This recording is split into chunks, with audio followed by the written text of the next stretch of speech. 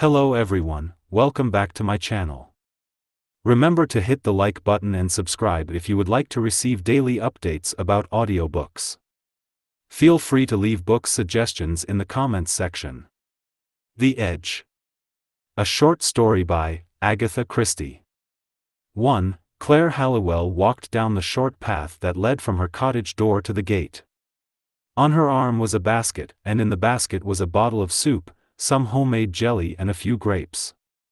There were not many poor people in the small village of Daymer's End, but such as there were were assiduously looked after, and Claire was one of the most efficient of the parish workers. Claire Halliwell was 32. She had an upright carriage, a healthy color and nice brown eyes. She was not beautiful, but she looked fresh and pleasant and very English. Everybody liked her, and said she was a good sort. Since her mother's death, two years ago, she had lived alone in the cottage with her dog, Rover. She kept poultry and was fond of animals and of a healthy outdoor life. As she unlatched the gate, a two-seater car swept past, and the driver, a girl in a red hat, waved a greeting. Claire responded, but for a moment her lips tightened. She felt that pang at her heart which always came when she saw Vivian Lee. Gerald's wife. Medenham Grange, which lay just a mile outside the village, had belonged to the Lees for many generations. Sir Gerald Lee, the present owner of the Grange, was a man old for his years and considered by many stiff in manner. His pomposity really covered a good deal of shyness. He and Claire had played together as children. Later they had been friends, and a closer and dearer tie had been confidently expected by many including, it may be said, Claire herself. There was no hurry, of course, but some day, she left it so in her own mind. Some day. And then, just a year ago, the village had been startled by the news of Sir Gerald's marriage to a Miss Harper, a girl nobody had ever heard of. The new Lady Lee had not been popular in the village. She took not the faintest interest in parochial matters, was bored by hunting, and loathed the country and outdoor sports. Many of the wiseacres shook their heads and wondered how it would end. It was easy to see where Sir Gerald's infatuation had come in. Vivian was a beauty. From head to foot she was a complete contrast to Claire Halliwell, small, elfin, dainty, with golden red hair that curled enchantingly over her pretty ears, and big violet eyes that could shoot a sideways glance of provocation to the manner born. Gerald Lee, in his simple man's way, had been anxious that his wife and Claire should be great friends. Claire was often asked to dine at the Grange, and Vivian made a pretty pretense of affectionate intimacy whenever they met. Hence that gay salutation of hers this morning. Claire walked on and did her errand. The vicar was also visiting the old woman in question and he and Claire walked a few yards together afterwards before their ways parted. They stood still for a minute discussing parish affairs. Jones has broken out again, I'm afraid, said the vicar. And I had such hopes after he had volunteered, of his own accord, to take the pledge. Disgusting, said Claire crisply. It seems so to us, said Mr. Wilmot, but we must remember that it is very hard to put ourselves in his place and realize his temptation. The desire for drink is unaccountable to us, but we all have our own temptations, and thus we can understand. I suppose we have, said Claire uncertainly. The vicar glanced at her. Some of us have the good fortune to be very little tempted, he said gently. But even to those people their hour comes. Watch and pray, remember, that ye enter not into temptation. Then bidding her goodbye, he walked briskly away. Claire went on thoughtfully, and presently she almost bumped into Sir Gerald Lee. Hello, Claire. I was hoping to run across you. You look jolly fit. What a color you've got. The color had not been there a minute before. Lee went on, as I say, I was hoping to run across you. Vivian's got to go off to Bournemouth for the weekend. Her mother's not well. Can you dine with us Tuesday instead of tonight? Oh, yes. Tuesday will suit me just as well. That's all right, then. Splendid. I must hurry along. Claire went home to find her one faithful domestic standing on the doorstep looking out for her. There you are, Mississippi. Such a to-do. They've brought Rover home. He went off on his own this morning, and a car ran clean over him. Claire hurried to the dog's side. She adored animals, and Rover was her especial darling. She felt his legs one by one, and then ran her hands over his body. He groaned once or twice and licked her hand. If there's any serious injury, it's internal, she said at last. No bones seem to be broken. Shall we get the vet to see him, miss? Claire shook her head. She had little faith in the local vet. We'll wait until tomorrow. He doesn't seem to be in great pain, and his gums are a good color, so there can't be much internal bleeding. Tomorrow, if I don't like the look of him, I'll take him over to Skippington in the car and let Reeves have a look at him. He's far and away the best man. 2. On the following day, Rover seemed weaker, and Claire duly carried out her project. The small town of Skippington was about 40 miles away, a long run, but Reeves, the vet there, was celebrated for many miles round. He diagnosed certain internal injuries, but held out good hopes of recovery, and Claire went away quite content to leave Rover in his charge. There was only one hotel of any pretensions in Skippington, the County Arms. It was mainly frequented by commercial travelers, for there was no good hunting country near Skippington, and it was off the track of the main roads for motorists. Lunch was not served till one o'clock, and as it wanted a few minutes of that hour, Claire amused herself by glancing over the entries in the open visitor's book. Suddenly she gave a stifled exclamation. Surely she knew that handwriting, with its loops and whirls and flourishes? She had always considered it unmistakable. Even now she could have sworn but of course it was clearly impossible. Vivian Lee was at Bournemouth. The entry itself showed it to be impossible, Mr. and Mrs. Cyril Brown. London. But in spite of herself her eyes strayed back again and again to that curly writing, and on an impulse she could not quite define she asked abruptly of the woman in the office, Mrs. Cyril Brown? I wonder if that is the same one I know? A small lady? Reddish hair? Very pretty. She came in a red two-seater car, madam. A Peugeot, I believe. Then it was. A coincidence would be too remarkable. As if in a dream, she heard the woman go on, they were here just over a month ago for a weekend, and liked it so much that they have come again. Newly married, I should fancy. Claire heard herself saying, Thank you. I don't think that could be my friend. Her voice sounded different, as though it belonged to someone else. Presently she was sitting in the dining room, quietly eating cold roast beef, her mind a maze of conflicting thought and emotions. She had no doubts whatever. She had summed Vivian up pretty correctly on their first meeting. Vivian was that kind. She wondered vaguely who the man was. Someone Vivian had known before her marriage? Very likely it didn't matter nothing mattered, but Gerald. What was she Claire to do about Gerald? He ought to know surely he ought to know. It was clearly her duty to tell him. She had discovered Vivian's secret by accident, but she must lose no time in acquainting Gerald with the facts. She was Gerald's friend, not Vivian's. But somehow or other she felt uncomfortable. Her conscience was not satisfied. On the face of it, her reasoning was good, but duty and inclination jumped suspiciously together. She admitted to herself that she disliked Vivian.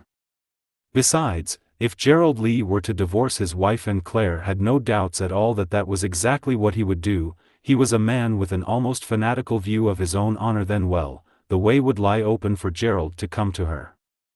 Put like that, she shrank back fastidiously. Her own proposed action seemed naked and ugly. The personal element entered in too much she could not be sure of her own motives. Claire was essentially a high-minded, conscientious woman. She strove now very earnestly to see where her duty lay. She wished, as she had always wished, to do right. What was right in this case? What was wrong? By a pure accident she had come into possession of facts that affected vitally the man she loved and the woman whom she disliked and yes, one might as well be frank of whom she was bitterly jealous. She could ruin that woman. Was she justified in doing so?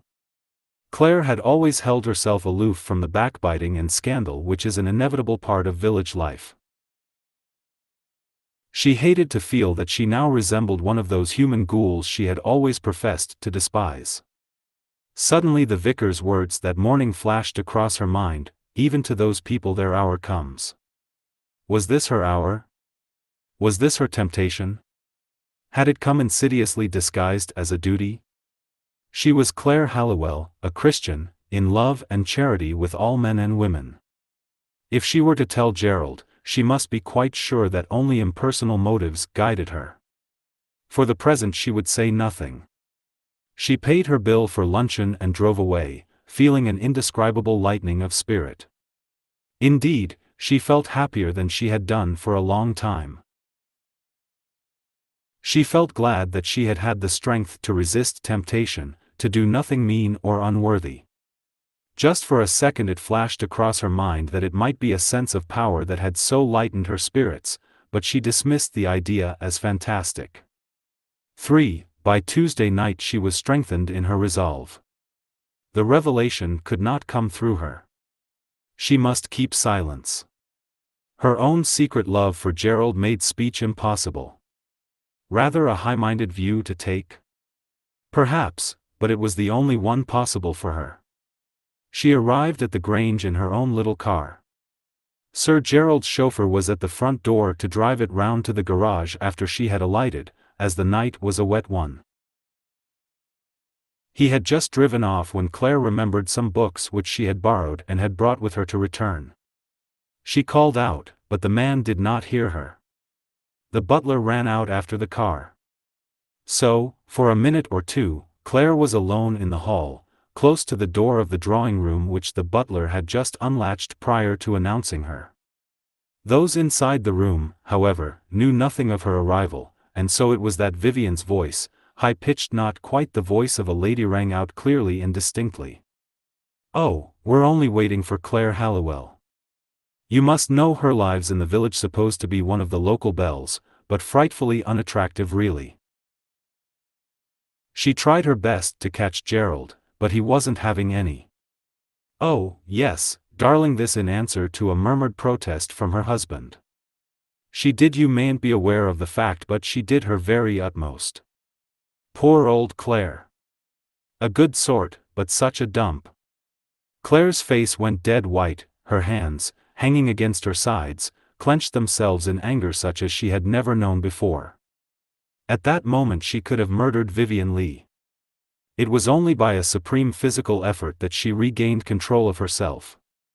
That, and the half-formed thought that she held it in her power to punish Vivian for those cruel words. The butler had returned with the books. He opened the door, announced her, and in another moment she was greeting a roomful of people in her usual pleasant manner. Vivian, exquisitely dressed in some dark wine color that showed off her white fragility, was particularly affectionate and gushing. They didn't see half enough of Claire. She, Vivian, was going to learn golf, and Claire must come out with her on the links. Gerald was very attentive and kind.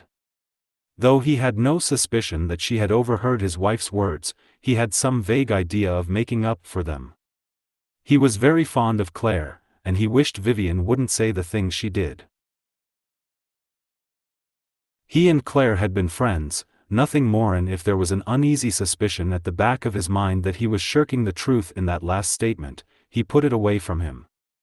After dinner the talk fell on dogs, and Claire recounted Rover's accident. She purposely waited for a lull in the conversation to say, so, on Saturday, I took him to Skippington. She heard the sudden rattle of Vivian Lee's coffee cup on the saucer, but she did not look at her yet. To see that man, Reeves? Yes. He'll be all right, I think. I had lunch at the County Arms afterwards. Rather a decent little pub. She turned now to Vivian. Have you ever stayed there? If she had had any doubts, they were swept aside. Vivian's answer came quick in stammering haste. I. Oh. And no, no, fear was in her eyes. They were wide and dark with it, as they met Claire's. Claire's eyes told nothing. They were calm, scrutinizing. No one could have dreamt of the keen pleasure that they veiled. At that moment Claire almost forgave Vivian for the words she had overheard earlier in the evening. She tasted in that moment a fullness of power that almost made her head reel. She held Vivian Lee in the hollow of her hand. The following day, she received a note from the other woman. Would Claire come up and have tea with her quietly that afternoon? Claire refused. Then Vivian called on her.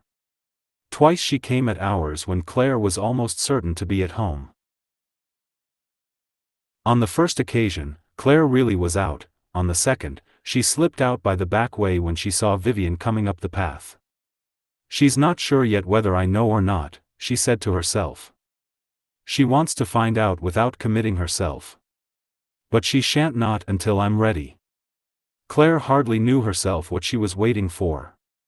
She had decided to keep silence that was the only straight and honorable course. She felt an additional glow of virtue when she remembered the extreme provocation she had received.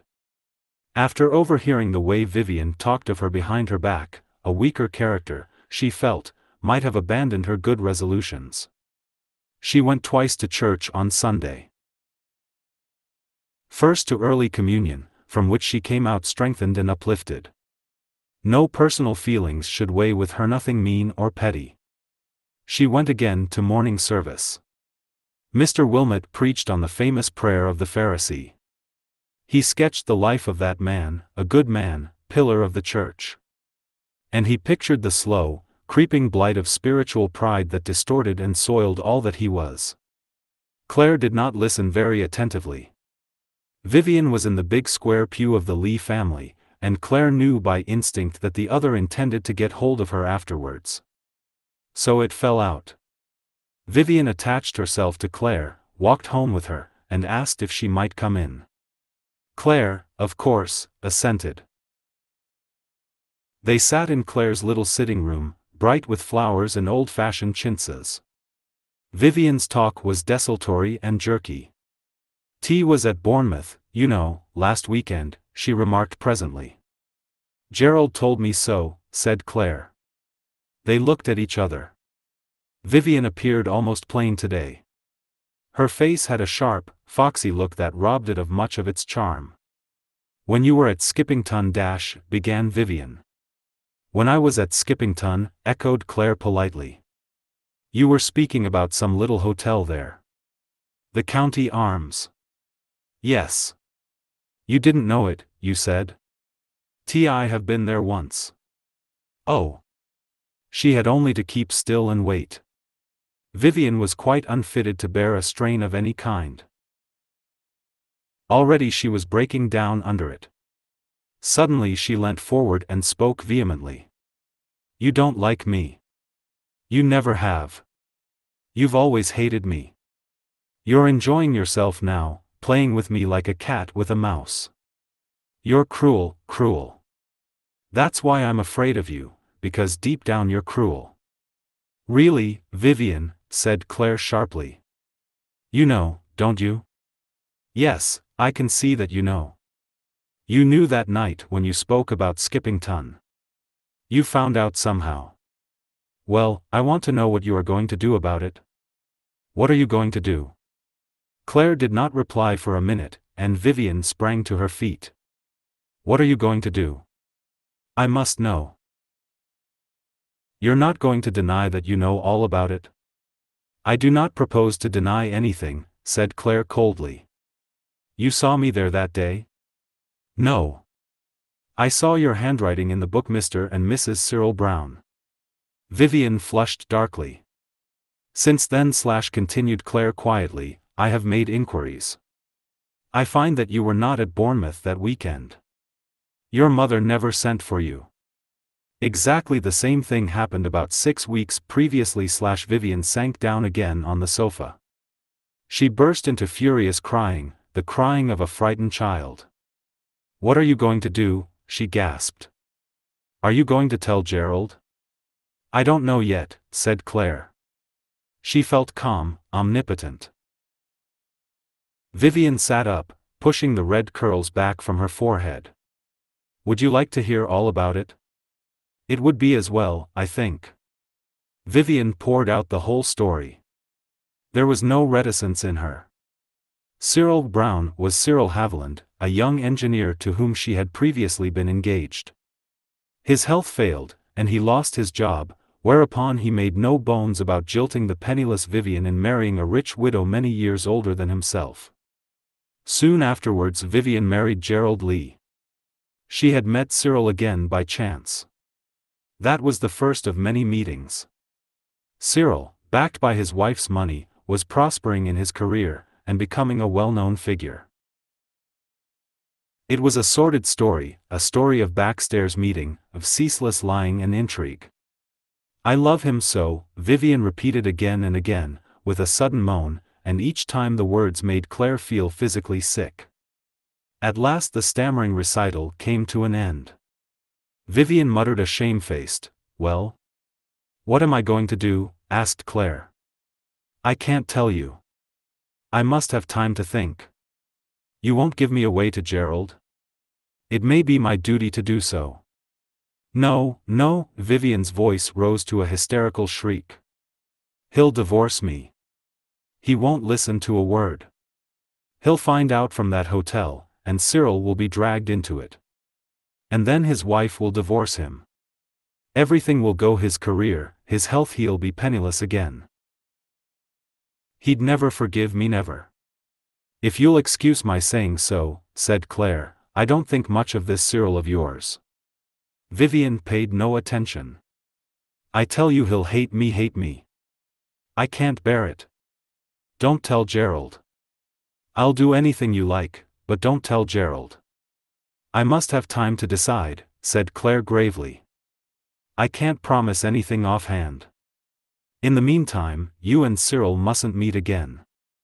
No, no, we won't. I swear it. When I know what's the right thing to do, said Claire, I'll let you know. She got up.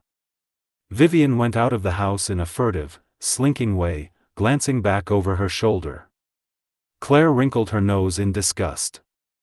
A beastly affair. Would Vivian keep her promise not to see Cyril? Probably not. She was weak rotten all through. That afternoon Claire went for a long walk. There was a path which led along the downs. On the left the green hills sloped gently down to the sea far below, while the path wound steadily upward. This walk was known locally as the Edge. Though safe enough if you kept to the path, it was dangerous to wander from it. Those insidious gentle slopes were dangerous. Claire had lost a dog there once. The animal had gone racing over the smooth grass, gaining momentum, had been unable to stop and had gone over the edge of the cliff to be dashed to pieces on the sharp rocks below. The afternoon was clear and beautiful. From far below there came the ripple of the sea, a soothing murmur. Claire sat down on the short green turf and stared out over the blue water. She must face this thing clearly. What did she mean to do? She thought of Vivian with a kind of disgust. How the girl had crumpled up, how abjectly she had surrendered. Claire felt a rising contempt. She had no pluck no grit. Nevertheless, much as she disliked Vivian, Claire decided that she would continue to spare her for the present. When she got home she wrote a note to her, saying that although she could make no definite promise for the future, she had decided to keep silence for the present. Life went on much the same in Daymer's End. It was noticed locally that Lady Lee was looking far from well. On the other hand, Claire Halliwell bloomed. Her eyes were brighter, she carried her head higher, and there was a new confidence and assurance in her manner. She and Lady Lee often met, and it was noticed on these occasions that the younger woman watched the older with a flattering attention to her slightest word. Sometimes Miss Halliwell would make remarks that seemed a little ambiguous not entirely relevant to the matter in hand. She would suddenly say that she had changed her mind about many things lately that it was curious how a little thing might alter one's point of view entirely. One was apt to give way too much to pity and that was really quite wrong. When she said things of that kind she usually looked at Lady Lee in a peculiar way, and the latter would suddenly grow quite white, and look almost terrified. But as the year drew on, these little subtleties became less apparent. Claire continued to make the same remarks, but Lady Lee seemed less affected by them. She began to recover her looks and spirits. Her old gay manner returned. For, one morning, when she was taking her dog for a walk, Claire met Gerald in a lane. The latter's spaniel fraternized with Rover, while his master talked to Claire. Heard our news, he said buoyantly. I expect Vivian's told you. What sort of news? Vivian hasn't mentioned anything in particular. We're going abroad for a year perhaps longer. Vivian's fed up with this place. She never has cared for it, you know. He sighed, for a moment or two he looked downcast. Gerald Lee was very proud of his home. Anyway, I've promised her a change. I've taken a villa near Algiers. A wonderful place, by all accounts. He laughed a little self-consciously. Quite a second honeymoon, eh? For a minute or two Claire could not speak. Something seemed rising up in her throat and suffocating her. She could see the white walls of the villa, the orange trees, smell the soft perfumed breath of the south. A second honeymoon. They were going to escape. Vivian no longer believed in her threats. She was going away, carefree, gay, happy. Claire heard her own voice, a little hoarse in timbre, saying the appropriate things. How lovely! She envied them. Mercifully at that moment Rover and the spaniel decided to disagree. In the scuffle that ensued further conversation was out of the question. That afternoon Claire sat down and wrote a note to Vivian. She asked her to meet her on the edge the following day, as she had something very important to say to her. 5. The next morning dawned bright and cloudless. Claire walked up the steep path of the edge with a lightened heart. What a perfect day! She was glad that she had decided to say what had to be said out in the open, under the blue sky, instead of in her stuffy little sitting room. She was sorry for Vivian, very sorry indeed, but the thing had got to be done. She saw a yellow dot, like some yellow flower higher up by the side of the path. As she came nearer it resolved itself into the figure of Vivian, dressed in a yellow knitted frock, sitting on the short turf, her hands clasped round her knees. Good morning, said Claire. Isn't it a perfect morning? Is it? said Vivian. I haven't noticed. What was it you wanted to say to me? Claire dropped down on the grass beside her. I'm quite out of breath, she said apologetically. It's a steep pull up here. Damn you, cried Vivian shrilly. Why can't you say it, you smooth-faced devil, instead of torturing me? Claire looked shocked, and Vivian hastily recanted. I didn't mean that. I'm sorry, Claire. I am indeed. Only my nerves are all to pieces, and you're sitting here and talking about the weather well, it got me all rattled. You'll have a nervous breakdown if you're not careful, said Claire coldly. Vivian gave a short laugh. Go over the edge? No, I'm not that kind. I'll never be a loony. Now tell me, what's all this about? Claire was silent for a moment, then she spoke, looking not at Vivian, but steadily out over the sea.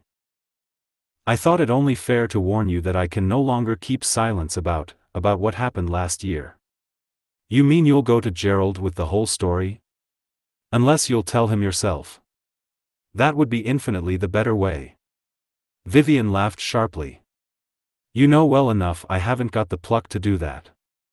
Claire did not contradict the assertion. She had had proof before of Vivian's utterly craven temper. It would be infinitely better, she repeated. Again Vivian gave that short, ugly laugh. It's your precious conscience, I suppose, that drives you to do this, she sneered.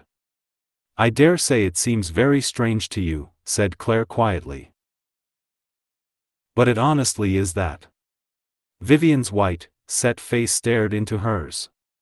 My God, she said. I really believe you mean it, too. You actually think that's the reason. It is the reason. No, it isn't. If so, you'd have done it before long ago. Why didn't you? No, don't answer.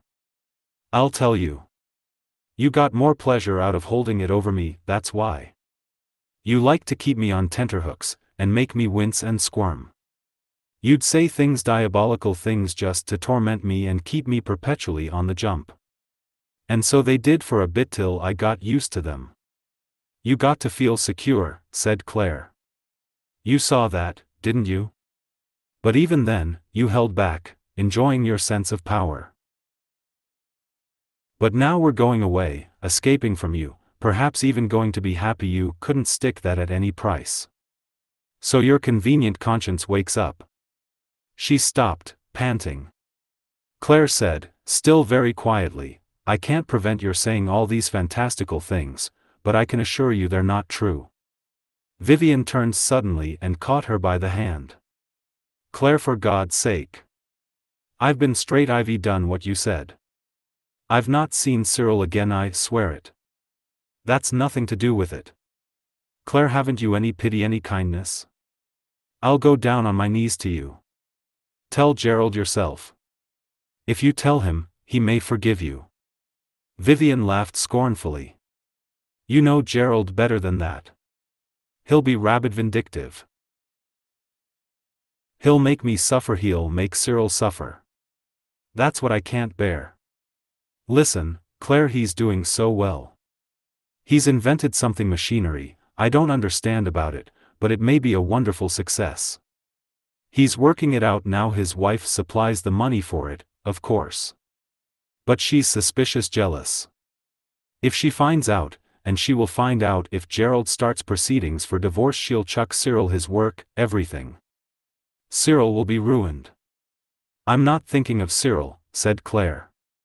I'm thinking of Gerald. Why don't you think a little of him, too? Gerald. I don't care that dash, she snapped her fingers, for Gerald. I never have.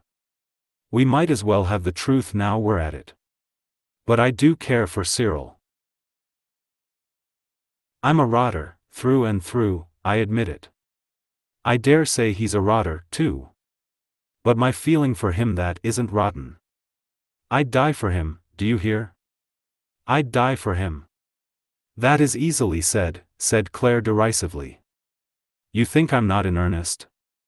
Listen, if you go on with this beastly business, I'll kill myself. Sooner than have Cyril brought into it and ruined, I'd do that. Claire remained unimpressed. You don't believe me, said Vivian, panting. Suicide needs a lot of courage. Vivian flinched back as though she had been struck. You've got me there. Yes, I've no pluck. If there were an easy way dash, there's an easy way in front of you, said Claire. You've only got to run straight down that green slope. It would be all over in a couple of minutes. Remember that child last year. Yes, said Vivian thoughtfully. That would be easy, quite easy if one really wanted to dash, Claire laughed. Vivian turned to her. Let's have this out once more. Can't you see that by keeping silence as long as you have, you've you've no right to go back on it now? I'll not see Cyril again. I'll be a good wife to Gerald, I swear I will. Or I'll go away and never see him again. Whichever you like. Claire dash, Claire got up. I advise you, she said, to tell your husband yourself, otherwise I shall. I see, said Vivian softly. Well, I can't let Cyril suffer. She got up, stood still as though considering for a minute or two, then ran lightly down to the path, but instead of stopping, crossed it and went down the slope. Once she half turned her head and waved a hand gaily to Claire, then she ran on gaily, lightly, as a child might run, out of sight. Claire stood petrified. Suddenly she heard cries, shouts, a clamor of voices. Then silence. She picked her way stiffly down to the path. About a hundred yards away a party of people coming up it had stopped. They were staring and pointing. Claire ran down and joined them. Yes, miss, someone's fallen over the cliff. Two men have gone down to see. She waited. Was it an hour, or eternity, or only a few minutes? A man came toiling up the ascent. It was the vicar in his shirt sleeves. His coat had been taken off to cover what lay below. Horrible, he said, his face was very white. Mercifully death must have been instantaneous. He saw Claire, and came over to her. This must have been a terrible shock to you. You were taking a walk together, I understand. Claire heard herself answering mechanically. Yes. They had just parted. No, Lady Lee's manner had been quite normal. One of the group interposed the information that the lady was laughing and waving her hand. A terribly dangerous place there ought to be a railing along the path. The vicar's voice rose again. An accident, yes, clearly an accident. And then suddenly Claire laughed a hoarse, raucous laugh that echoed along the cliff. That's a damned lie, she said. Seven killed her. She felt someone patting her shoulder, a voice spoke soothingly. There, there. It's all right. You'll be all right presently. 6. But Claire was not all right presently. She was never all right again. She persisted in the delusion certainly a delusion, since at least eight persons had witnessed the scene that she had killed Vivian Lee. She was very miserable till Nurse Lauriston came to take charge. Nurse Lauriston was very successful with mental cases. Humor them, poor things, she would say comfortably. So she told Claire that she was a wardress from Pentonville prison. Claire's sentence, she said, had been commuted to penal servitude for life. A room was fitted up as a cell. And now, I think, we shall be quite happy and comfortable, said Nurse Lauriston to the doctor. Round-bladed knives if you like, doctor, but I don't think there's the least fear of suicide. She's not the type. Too self-centered. Funny how those are often the ones who go over the edge most easily. The end. Thank you for being with us until the end. We hope you had a wonderful time. If you enjoyed our book, please support us by liking and leaving comments. We look forward to seeing you soon with another book. Best regards.